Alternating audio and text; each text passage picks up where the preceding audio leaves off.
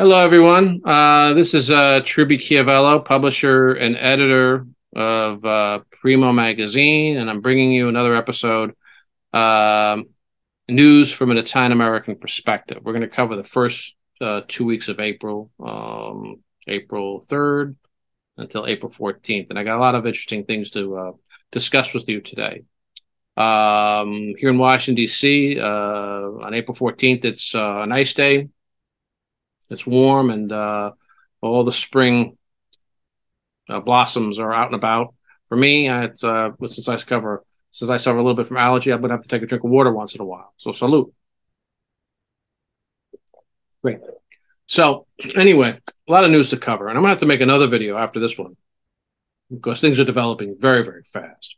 So I hope to talk to you today about um, uh, Donald J. Trump and what happened to him, what's going on with him in Manhattan, the district attorney's office there, and how that relates to Italy. And I think you find it very interesting. And we'll talk about uh, the court case in Syracuse, uh, the Columbus Monument Corporation versus the city of Syracuse, and trying to save the uh, Columbus Monument there in that city. And uh, an update to what's going on in Maryland. They're trying to change uh, Columbus Day to Indigenous Peoples Day and then also talk about uh, New York City and the um, in the uh, Columbus Monument there in Central Park, and uh, then we're just going to try to tie it all up together and give you some um, ideas that I have about uh, going forward. You know, Italian Americans are on the forefront. We're right on the front lines of a serious battle that's going on in this country. Um, it's uh, uh, an effort to try and really transform the country uh, to a socialist nation. Uh, we always had some socialism here and there in this country, and uh, uh but this is more broad base, more in depth, um, really a, a serious uh, effort to try and change the country. And Italian Americans are resisting that because they're trying to save Columbus and Columbus Day. And um, you know, you say why that is. Well, you know, uh, Italy is I would probably term them as a socialist country, pretty close to it uh, maybe a social democracy is what most people uh, define Italy as. Um, and that was developed by Italians and based upon Italian history and a lot of things that go along with it, a top down approach to their governance. Um, that's not the case here in the United States. The United States was founded by our, the, the structure of our government, the ideas that we have regarding our Constitution, and particularly in the Bill of Rights, really came about from British Protestants when they settled in the country, there was a diversity of Protestants that were being persecuted in England. They didn't want that to happen to them here in this country, so they really made it quite free and allowed uh, protections uh, to the individual and groups that they wanted to form, and then that was adopted into the U.S. Constitution later. So this is kind of where we're coming from. Um, so if you want to turn our country into a social democracy or a socialist country, uh, it's not going to work very well unless you try to eliminate the history eliminate the history. You have to eliminate. Uh, you have to villainize main figures. You have to um, change the holidays. Uh, you could even argue to maybe change the flag and the, and the national anthem, and just um, take down statues and monuments of famous people from our past. And Christopher Columbus is step number one. Um, what our adversaries want to do is uh, take down his uh, monuments and uh, take out his holiday. Um, and then they're going to move on. If they're successful there, they're going to move on to other people. It's Columbus Day now. Tomorrow it'll be Thanksgiving Day. Uh, maybe Christmas. Christmas is a federal holiday also. And I could see them doing something about that. Um, and then down the road, things may change accordingly. And then they will then go ahead and try to uh, change the change the history, the historical narrative of our country. And so you probably see this happening, and this is what's going on. Who's doing this? Mm, you'd have to probably say Barack Obama and uh, members of the Democratic Party. Not all the Democrats, Mayo. In fact, a big part of the Democratic Party are just traditional liberals that they want to have government programs and government services to help the poor and the needy. And this is great. But what he wants to do, and many of his um, associates with other people affiliated, they want to create a different country where the executive branch would be very, very powerful um, a diminishment of federalism, states' rights, and city rights, and also diminishment of the Bill of Rights, because you would have to have uh, everybody to um, come on board with what they want to do in a socialist country like that. And they can't afford people going out on their own, doing their own things. So this is where we're at. The Italian Americans are at the forefront of trying to protect Columbus, Columbus Day, and by doing so, that'll help you if you're not a Italian American to save um, statues, holidays, and traditions of importance to this country, and they may not be Italian as well. So this is very important.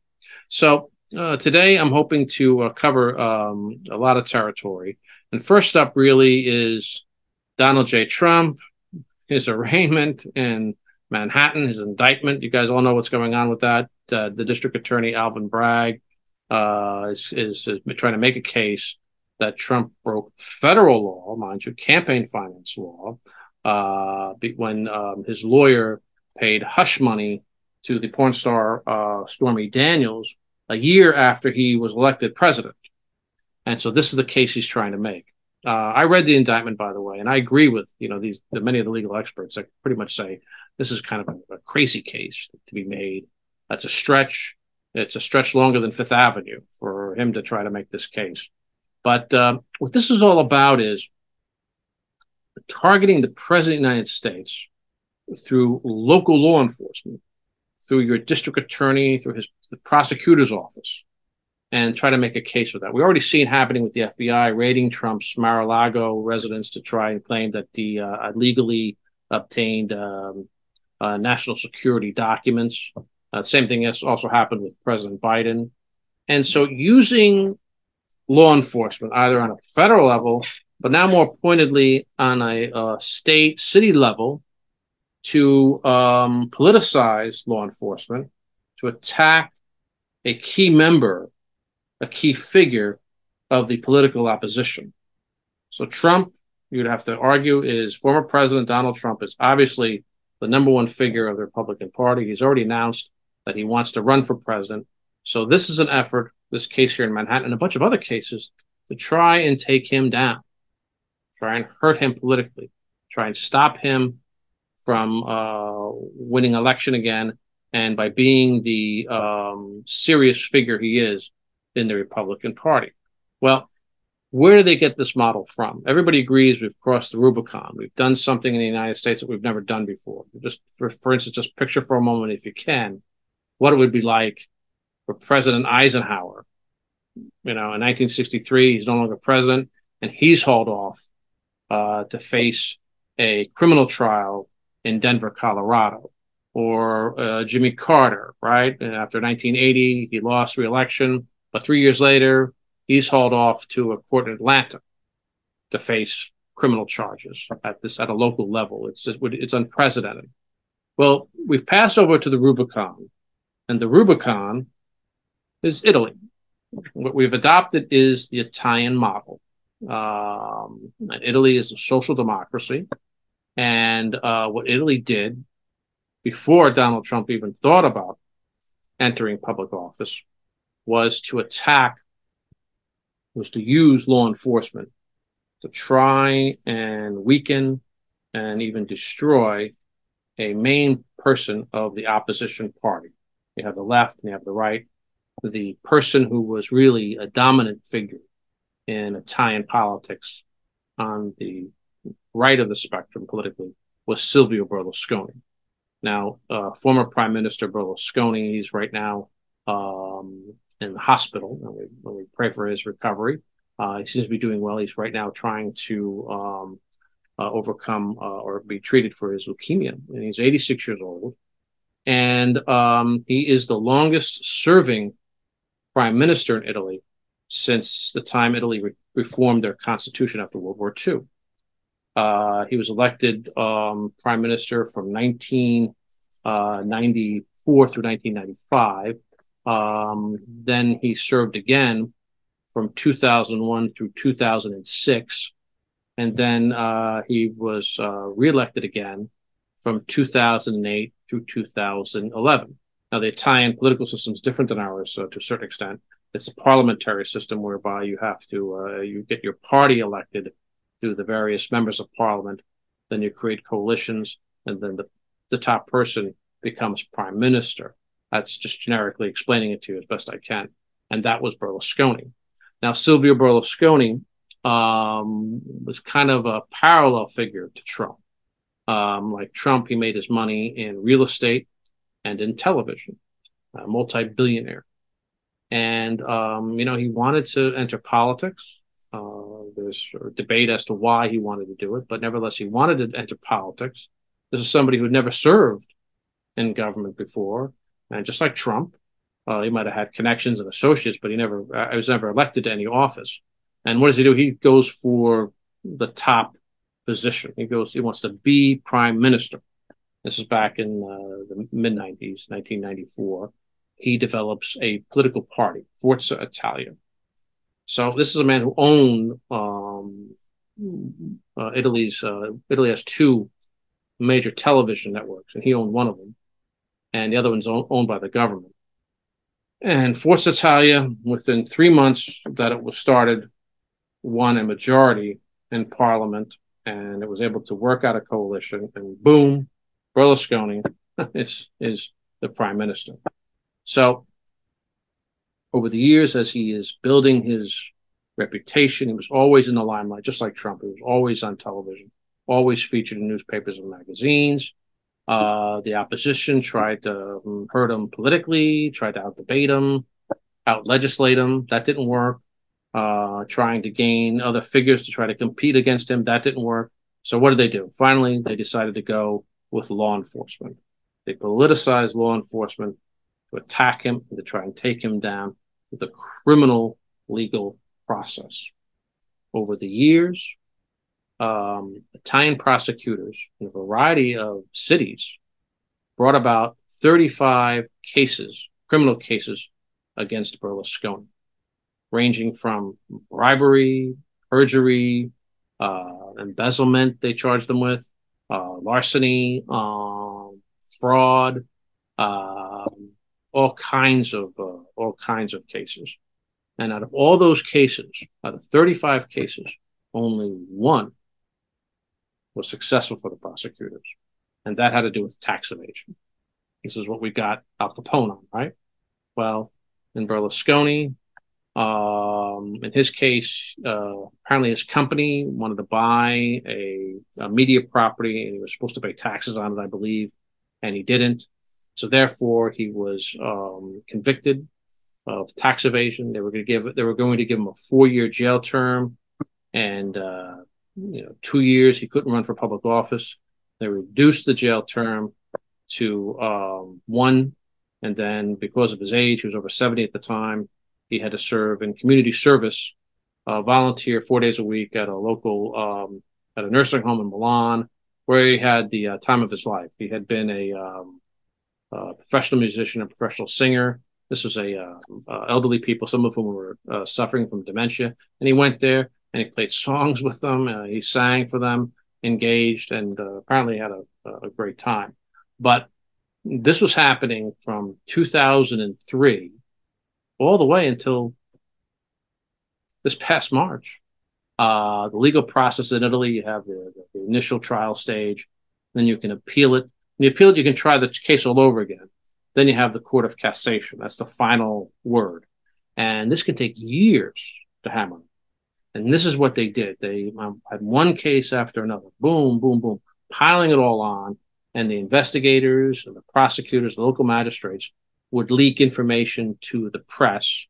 Um, you have the press that's opposing Berlusconi, but more importantly, the international press, uh, the international press that didn't like him. And they could use that for a host of uh, rumors, salacious material, um, it's pretty amazing when you think about it. Uh, out of all those cases that were brought up against him, uh, 10 had passed their statute of limitations. Another 10 or 12 lost just on the merits and immediate merits.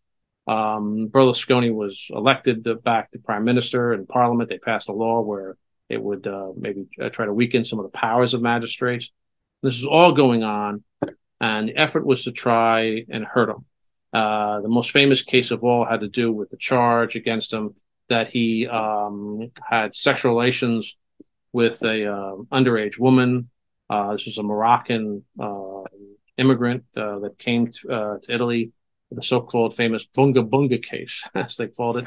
He brought a journalist to his home, his palace there in Milan, showed him the Bunga Bunga room. Apparently, this was a room where there was all kinds of nefarious sexual deeds going on.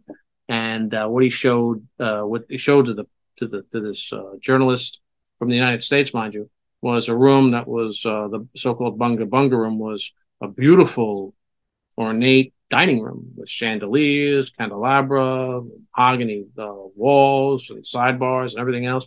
Quite extensive. Um, and that's what he showed, you know, uh, whatever. But um, that case was brought against him 2013, and they convicted him for nine years jail term. Uh, uh, uh, he was forbidden from ever running again for public office. He appealed that case, won it, eliminated eliminated all of the um, the sentencing and the punishments. And it was only until March 2023 when the Court of Cassation, the, the, the final uh, word, uh, exonerated. So he no longer had to worry about this. But this is how long it takes. This is how long it took. The purpose of it was was just to weaken him politically. Um, if you're a Trump fan, if you're a Trump supporter, the good news is it really didn't work. Um, eh, he was still elected prime minister. He served longer than any other person since World War II. And um, he was able to take his party, uh, rebuild it when he had the first opportunity he had to run again. He did so for the European Parliament. Uh, this is Silvio Berlusconi we're talking about. And then um, COVID 19, of course, came in the mix. But um, uh, after the pandemic died down, he was able to take his party uh, coalesce it with the um, uh, Brothers of Italy political party, and then Lega Nord, uh, and then elect get elected the first female prime minister in uh, Giorgia Meloni.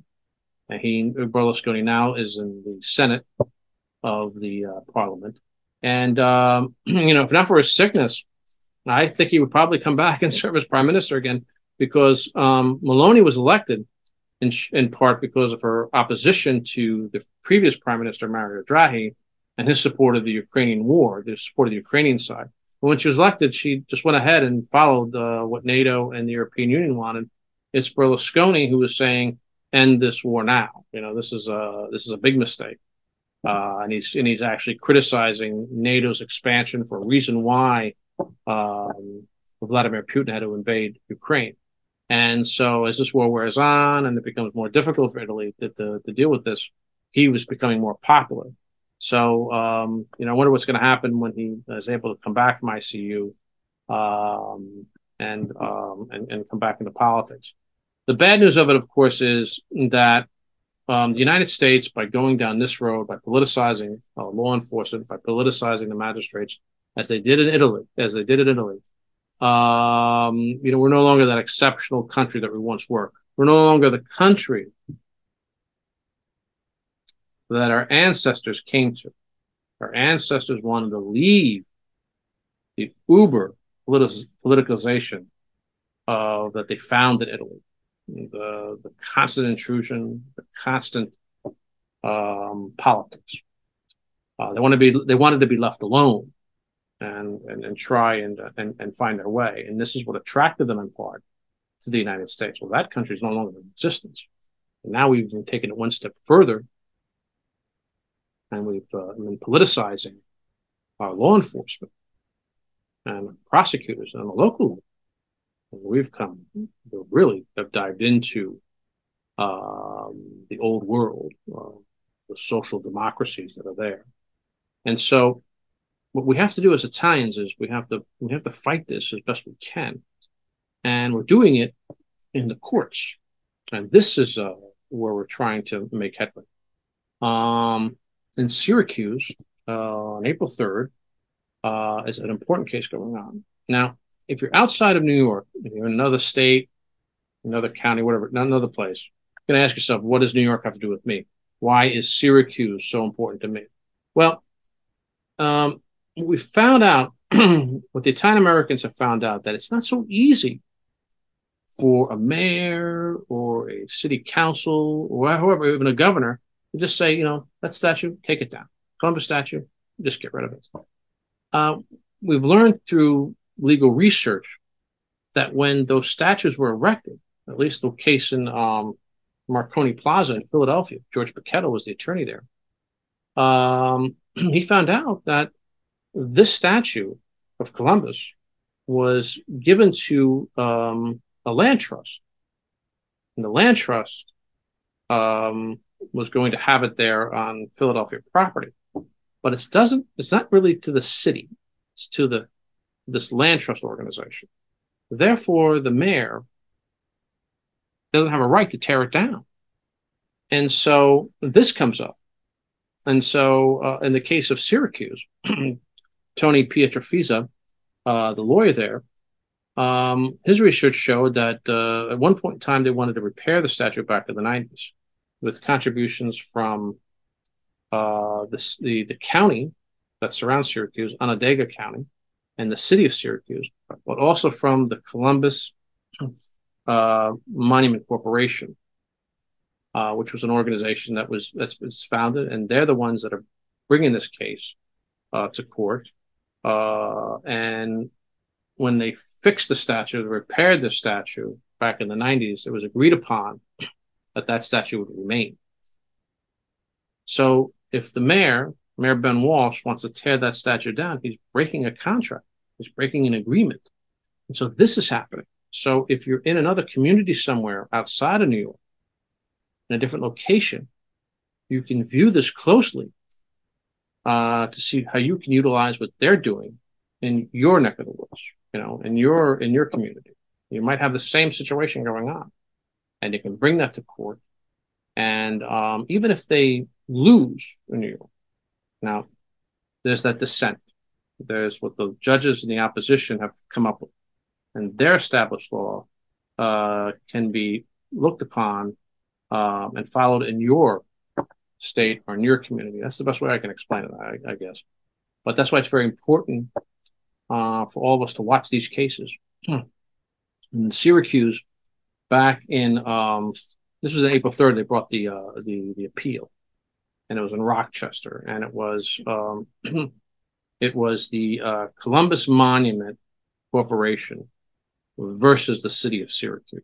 And the mayor of Syracuse was Ben Walsh. He's 40 years old.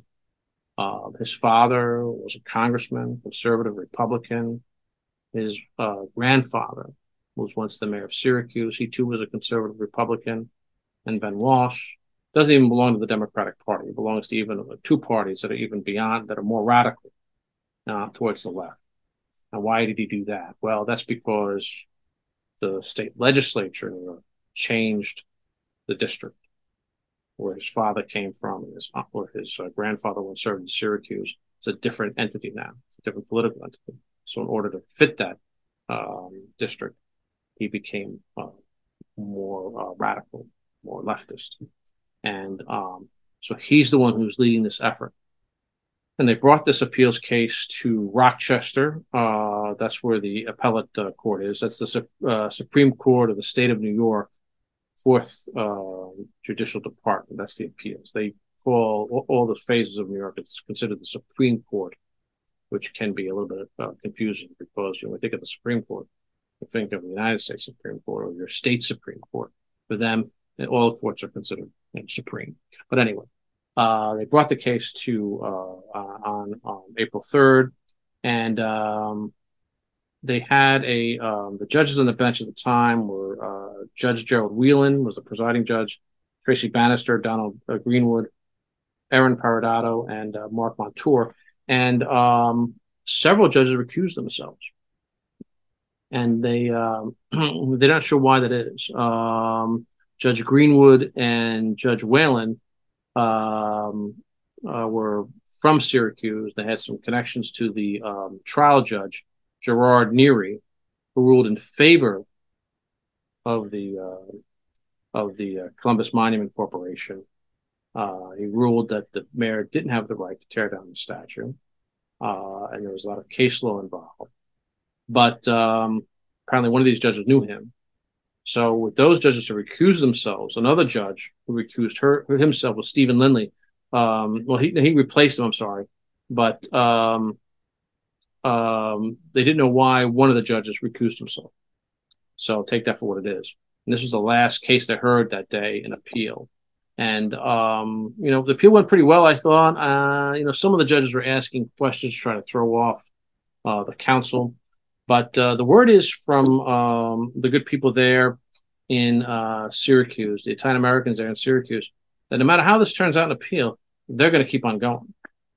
they're going to, if they, don't win, they're going to appeal it again to whatever the highest state. That would be probably the uh, state Supreme Court in New York. And uh, my feeling about this with uh, Syracuse and Philadelphia and any other uh, cities that come in, uh, the Conference of Presidents of Major Italian American Organizations, under the leadership of Judge Basil M. Russo, has pushed this idea forward of taking these cases to court. And uh, as I mentioned before, it's not so simple for a marriage to tear down a statue. There's agreements that were involved. There were uh, other types of things going on when statues were donated. Might have been donated to a, a, to a land trust or some other organization that happens to have uh, an agreement with the city to put statues there on their property. So my feeling is this is probably going to go to the Supreme Court to figure out what the mayors can do and what they can't do, and go from there. And I would be surprised if they work out something whereby you know they can do this but they can't do that sort of thing and then you have to keep on. Uh, other cases are going to come up and keep on trying it. So pay close attention, please, to what's going on in Syracuse. Uh, it's a very important case. Um, they devoted a lot of time and effort to it. I'm going to post a link uh, to the Columbus Monument Corporation if you want to donate money to them. They, uh, you know, they have done an amazing job too, and you can look at their as a model as well.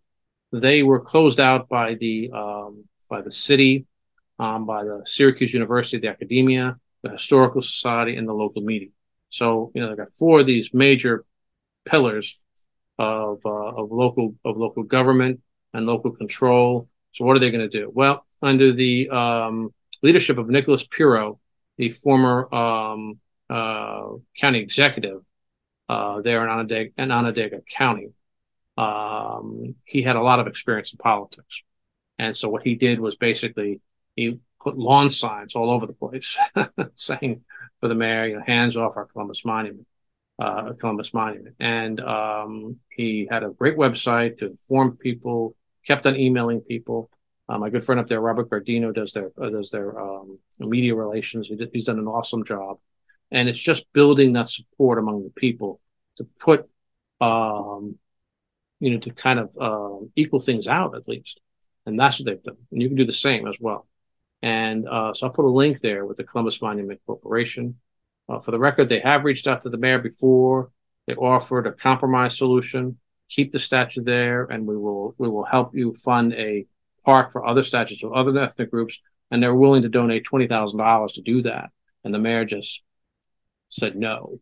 And now, of course, the mayor is saying, "Oh, this group has never tried to reach out to." That's not true, of course. But this is what's going on. This is a political battle and a legal battle and um, we have to watch these cases closely to um, uh, to better suit our needs when things come up.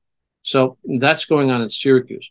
Another big event that's going on was the Maryland House Bill 446. If you live in Maryland, this is very important to you, of course, where um, the state of Maryland is trying to, um, the legislature there is trying to change Columbus Day into Indigenous Peoples Day. And this is happening all over parts of the country.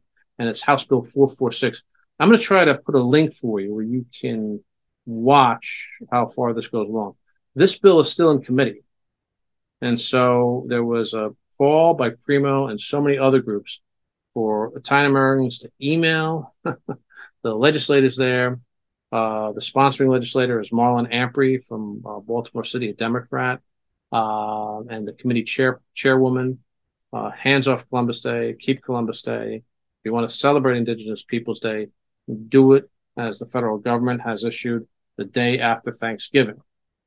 That's when you're supposed to celebrate uh, Indigenous people, Native Americans. So why don't you do that and leave Columbus Day alone? So this is what we uh, had people email.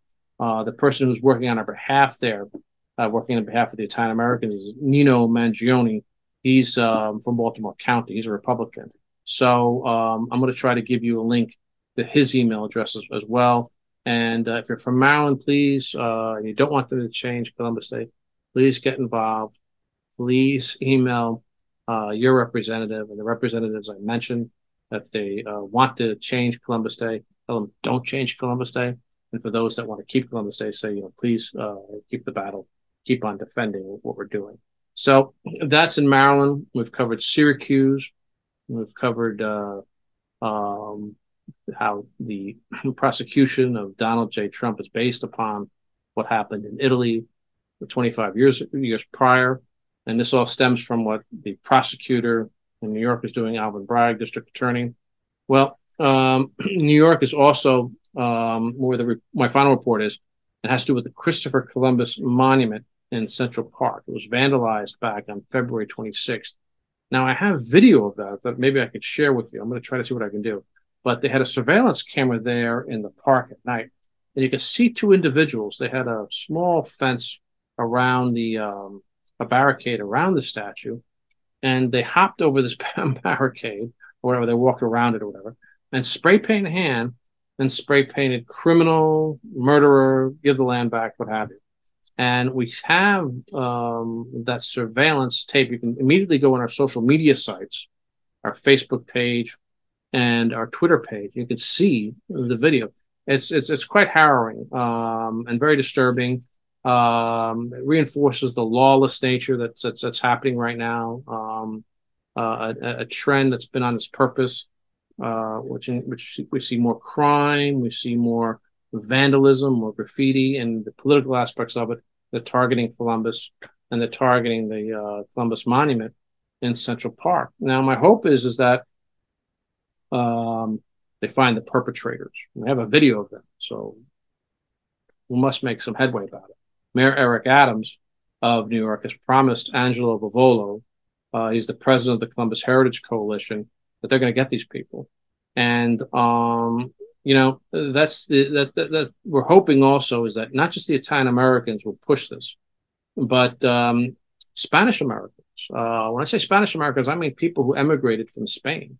Significant number of them um, came to the United States, and I hope they come on board because the sculptor was uh, from Spain. Uh, Geronimo Suñol Pujol was his name, and he sculpted the statue there.